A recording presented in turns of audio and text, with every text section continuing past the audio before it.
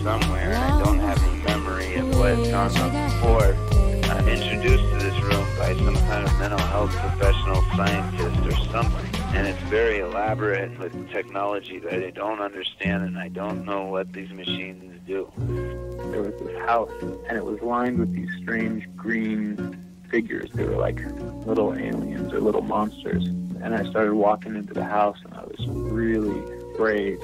Um, and I didn't know why I was so afraid. I grabbed the knob on the door and I opened up the door and I realized that I was walking into my own mind. And then I woke up.